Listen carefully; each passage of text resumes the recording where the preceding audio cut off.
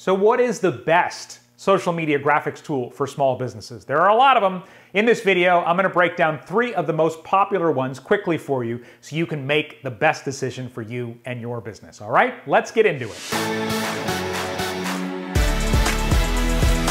Hello, busy people. Welcome to 5 Minute Social Media, where I help time strapped business owners get more results, powerful results from their social media without the need for a huge team, a huge budget, or having to post every single day in most cases. That sounds like something you'd like. Take a second, hit subscribe, click that bell. That way you'll be notified each week when we release another helpful video.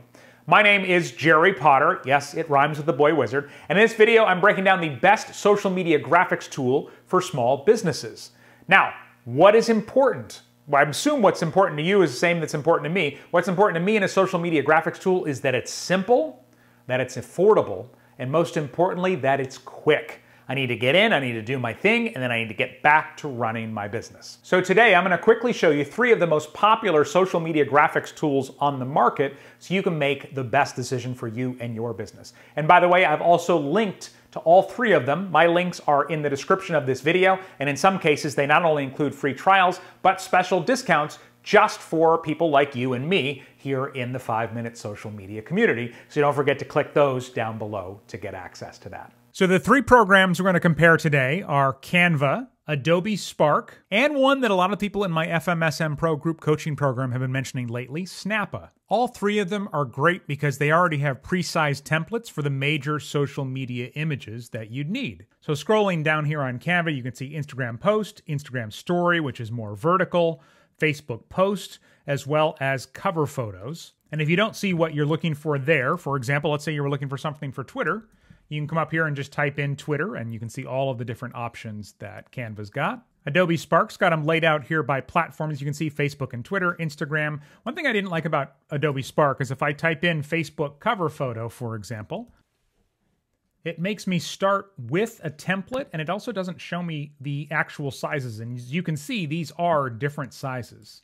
I like to design from scratch a lot, so when I click into the template for Canva, it just comes up blank and then it has all the templates over here. I would imagine that Adobe Spark was just trying to take out a step, and there's nothing wrong with that, just a personal preference for me. Snappa, of course, also has all of these major ones, and you can go ahead and choose the one you're looking for, click in, and then they have the templates as well as the option to create from scratch right there. And no matter what you're making, all three of these options have lots and lots of templates that you can choose from. One of the great things that all three of these programs have is the ability to take an image that you've already created or a template and resize it. And this isn't a purely fair comparison because I'm using a Canva template on Canva and an Adobe Spark template on Adobe, so things might work a little differently. But we'll start here in Canva. You'd go up to the top, you'd hit resize.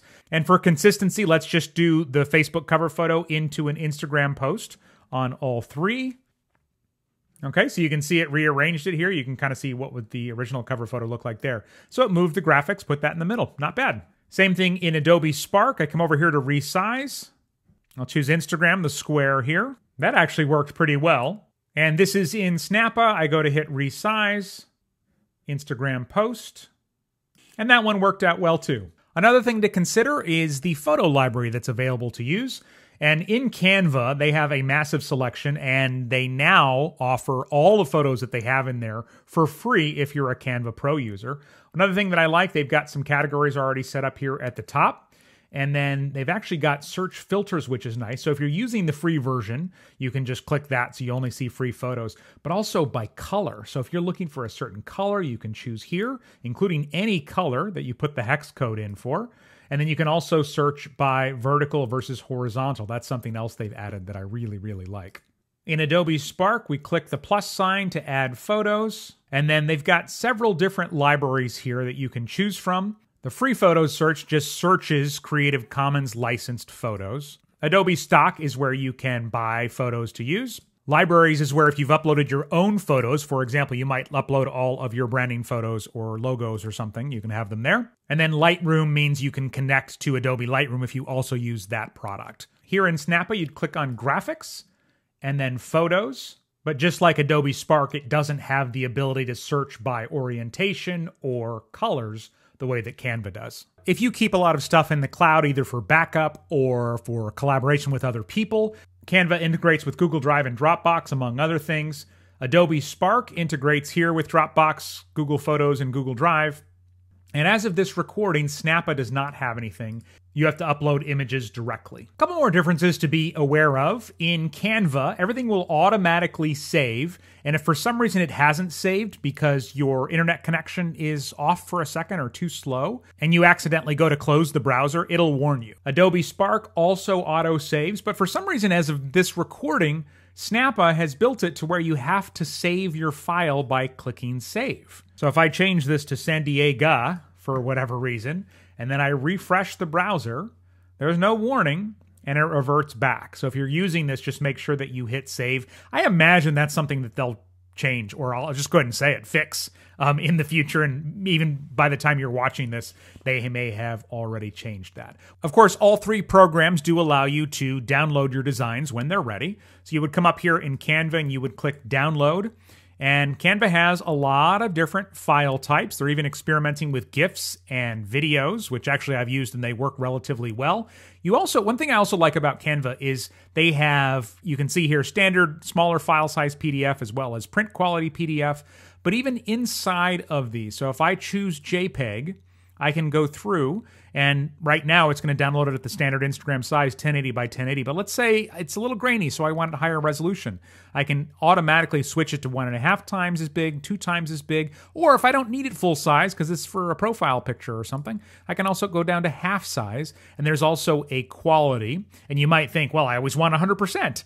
But if you are optimizing this, for example, to put on your website, that's where you might not want it full quality because the bigger an image is on the website, the slower your website actually loads. On Adobe Spark, you can see there are fewer options here as of now. And in Snappa, we click download. You've got a web optimized JPEG, which is great for website design, high res PNG file, and then also you can see that you can do a 2x size. So they've got a couple of options there. Other things you can do with your social media graphics when they're done. If I click this arrow next to download in Canva, you can see you can actually share it right to a Facebook page or a Twitter account. Pinterest, LinkedIn profile, LinkedIn page. So if I click on one of these, once your page or pages are connected, it'll show up here. And I can actually publish directly from Canva, including the ability to publish later. They'll let you schedule it from Canva, which is really, really cool. And from Snappa, I can hit share. Once you're connected, I select where I want to post it and it will actually let me share directly from Snappa, which is really slick. It does not let you schedule the way that Canva did. But one thing Snappa has that the other two don't is it integrates with Buffer. So if you use Buffer for your social media scheduling, that might be reason alone to go with Snappa. If you like to do things on a mobile device, you should know that Canva has apps for iPhone, iPad, Android mobile phones, and Android tablets. And they've actually, for some platforms, have a separate app just for Instagram stories and vertical video. Meanwhile, Adobe Spark has Adobe Spark Post, which is the main one you'd be using for social media graphics. And they have one for iOS, iPhones, and Android. And then they also have two other apps Adobe Spark Page, which is for websites or web stories, as they say. And then also Video Stories is Adobe Spark Video. And those last two are only available, at least as of now, for iPhones and iPads. And as of this recording, Snappa does not have a mobile app yet. But of course, if you work primarily at a computer, that doesn't really matter.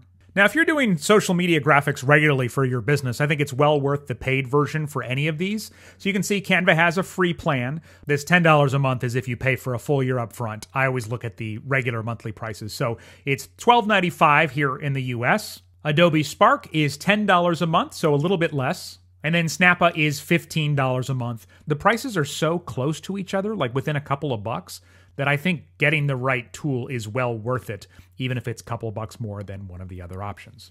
A couple other things to be aware of before you decide. If you print things regularly, Canva has printing built directly in, as you can see, t-shirts, business cards, posters, and from what I understand, the I've never used it, but the quality from everyone I've talked to is fantastic. Adobe Spark has a photo replace feature a lot of people like. So if I click on this photo, and over here I can click replace, automatically it knew that was a photo of book, so it brought up similar photos, and I can just click on one of these other ones, and it'll pop it into that same space without messing up your design.